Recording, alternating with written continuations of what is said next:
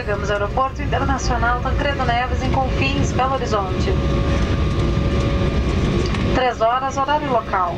Permaneça com seu cinto afivelado até que a aeronave pare completamente e os avisos luminosos de afivelar o cinto se apaguem. Tenha cuidado.